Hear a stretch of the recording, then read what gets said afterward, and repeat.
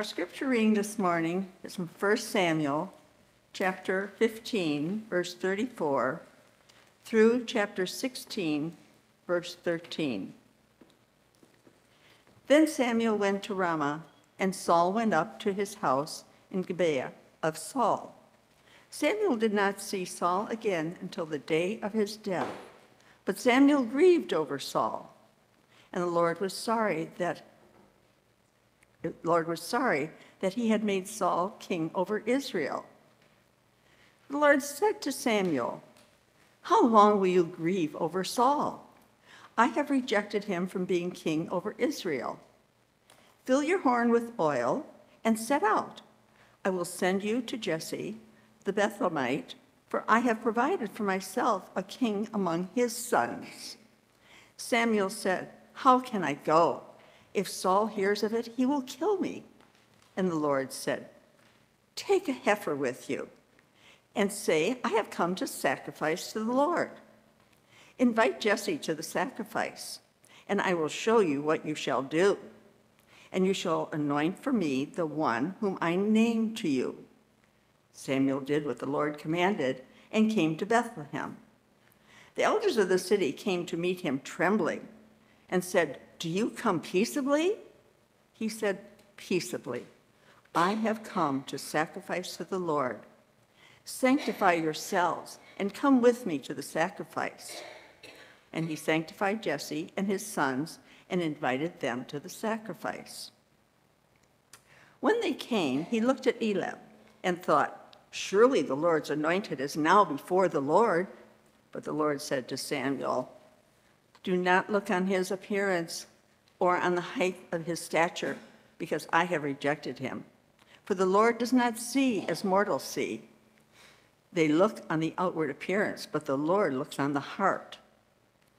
Then Jesse called Abinadab and made him pass before Samuel. He said, Neither has the Lord chosen this one. Then Jesse made Shammah pass by, and he said, Neither has the Lord chosen this one. Jesse made seven of his sons pass before Samuel. And Samuel said to Jesse, The Lord has not chosen any of these.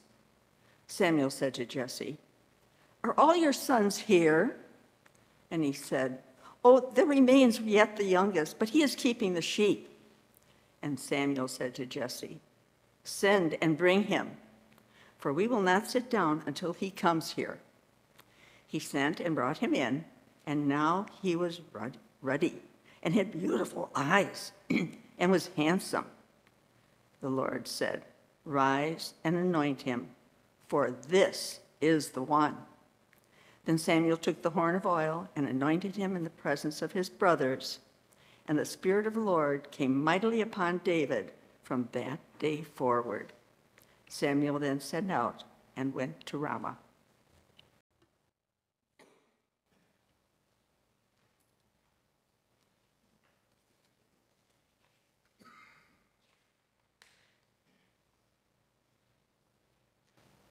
Our gospel reading comes from the Gospel according to St. Mark, the fourth chapter. Jesus also said, The kingdom of God is as if someone would scatter seed on the ground and would sleep and rise night and day, and the seed would sprout and grow. He does not know how. The earth produces of itself first the stalk, then the head, then the full grain in the head. But when the grain is ripe at once, he goes in with his sickle because the harvest has come. Jesus also said, With what can I compare the kingdom of God? Or what parable will we use for it? It is like a mustard seed, which, when sown upon the ground, is the smallest of all the seeds on earth. Yet when it is sown, it grows up and becomes the greatest of all shrubs, and puts forth large branches, so that the birds of the air can make nests in its shade. With many such parables, he spoke the word to them as they were able to hear it. He did not speak to them except in parables, but he explained everything in private to his disciples. May God add blessings to the reading, the hearing, and the interpreting of God's holy word.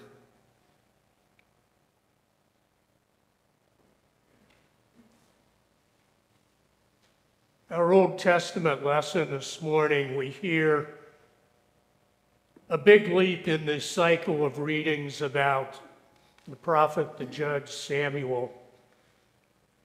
You'll recall last week, if you were here, you got to hear about Samuel being called to serve God as he was serving his predecessor in the temple and how it was only when he was able to sit and listen in quiet for the still small voice of God that he recognized who he was to become, who he was called to be. And at that point, turns his life to serve God fully. One of the first major acts that Samuel does following several years of serving God is to anoint the first king. He's called upon to anoint Saul. And Saul is a great warrior. He's able to defeat many of the enemies of the Israelites and is able to make the beginning of the nation, transforming it from what was still a semi nomadic confederation into an actual solidified kingdom. And yet, Saul, in his power, eventually became distracted and pursued other ways. And the Lord decides that he will cut Saul off. And that's where the story today picks up with Samuel, who is grieved, brokenhearted with his disappointment with how Saul has developed as a king. And God tells Samuel, Stop your caterwauling. I have made a decision, and you are to go, and I will show you who will take Saul's place. And as we hear, Samuel goes to the house of Jesse. Seven big, strapping sons are paraded by him. And yet, God tells Samuel, No, these are not the ones I've chosen. And finally, asking Jesse if he has another son. Well, my youngest is out in the field tending the sheep. Call him. And young David, the scrawniest of the group, is the one that God chooses. Again, as scripture tells us, God does not see things the same way that we do. What looked big and powerful and potential for kingship to Samuel is not who God was going to choose. Something small, something unexpected out of which God will grow what would become the greatest king in Israel's history. Then we get to the gospel today, and we get that same theme. from the smallest of seeds grows a great shrub. Next slide. This gives you some idea of what a mustard seed looks like. Yet it's actually much smaller than that. Next slide. This is what comes out of that seed when it's tended and allowed to grow. Something tiny, and yet something great emerges out of it through the hand of God.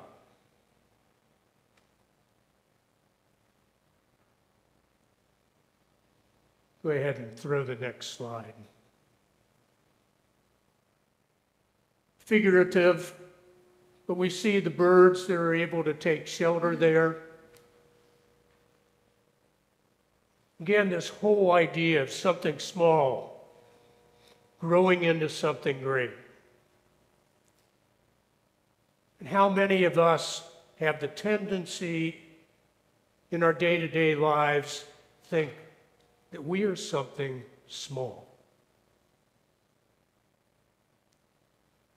We forget that that same potential seed that God has packed with this ability to grow so large is planted in us.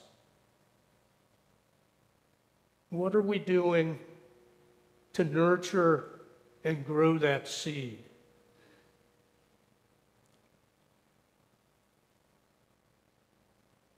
Theologian Matthew Fox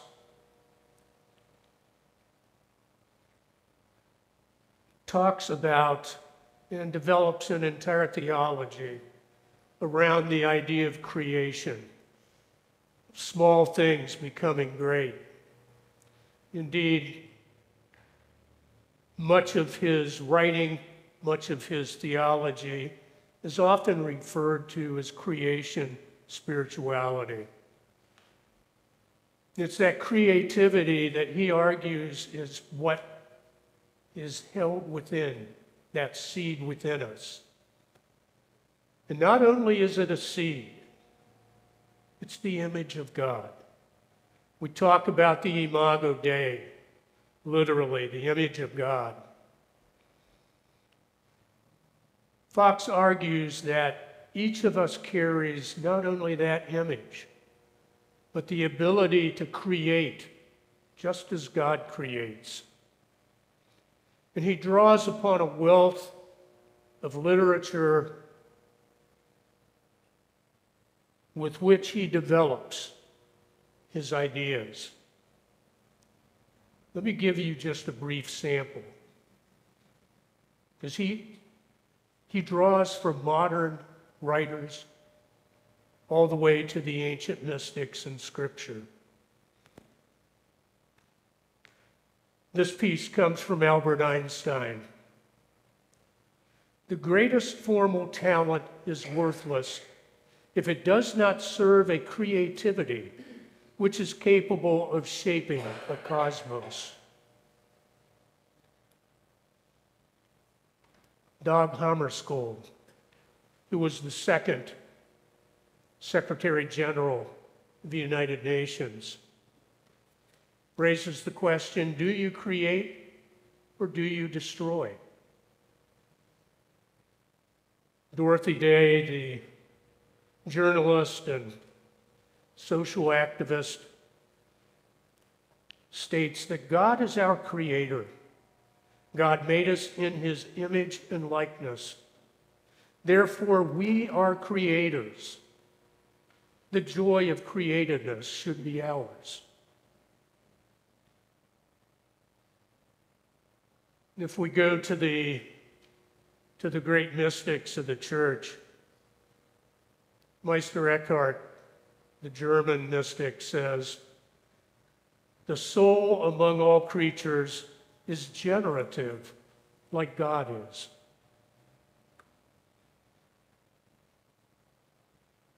One of the other female German mystics, Mechthild of Magdeburg,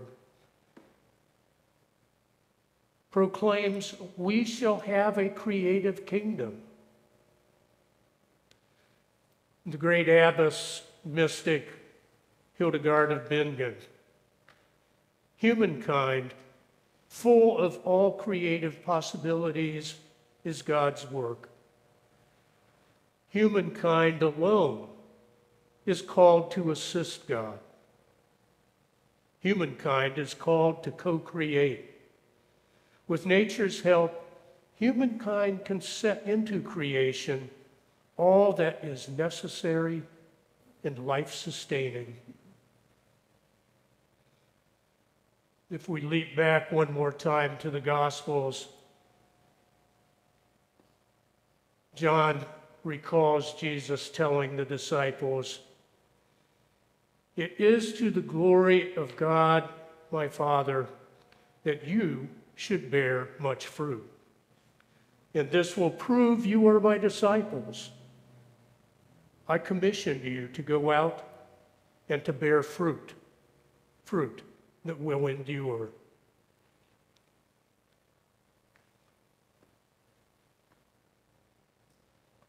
All of this material, if we believe that we are indeed made in the image of God, tells us that we are also creators.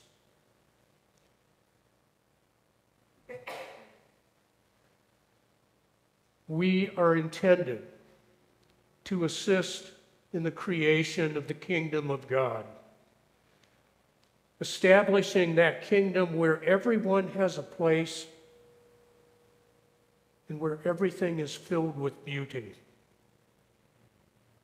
And I would suggest that this is also the core to sainthood. When we live out that image that we are made in, we live out the sainthood that we were intended to fulfill. Unfortunately, we live in a time, and probably every time, that has trouble with the concept. We have challenges. Why are we not more creative? How many of you remember at some point in time in society being told that only special people can be saints or be truly creative? How many times when you were in school did you hear someone tell you, you can't sing, you're not musical, you can't draw? You can't paint. You can't write well. Your poetry is subpar. You can't this, you can't that. We've all heard those things at some point. So, how do we overcome it?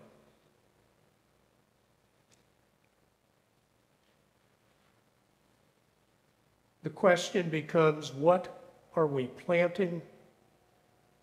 What are we creating? And it all begins when we take that silent moment every day to listen for the still small voice. It's coming out of that voice and its message that we are guided to greater consciousness, a greater ability to manifest our own creativity. It reconnects us to our original self, the image of God.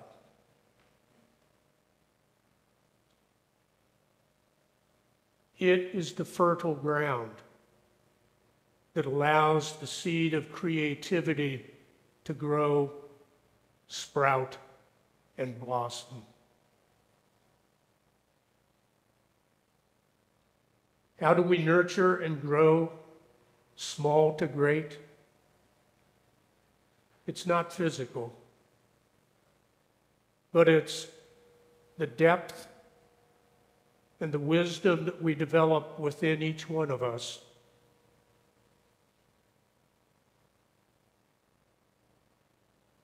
It's taking time to plant little seeds. And the seed may not be a plant, it might not be a garden. It's figurative, it's metaphorical. But what are we planting? And how are we nurturing and growing it? Every little thing we do, every little seed we plant, helps advance God's kingdom.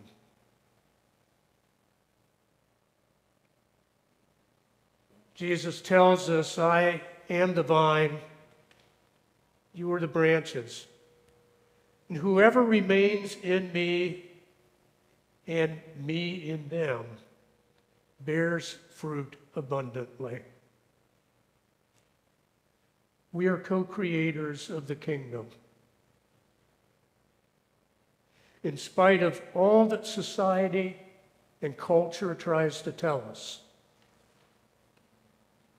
we have inherent creativity and artistry within us.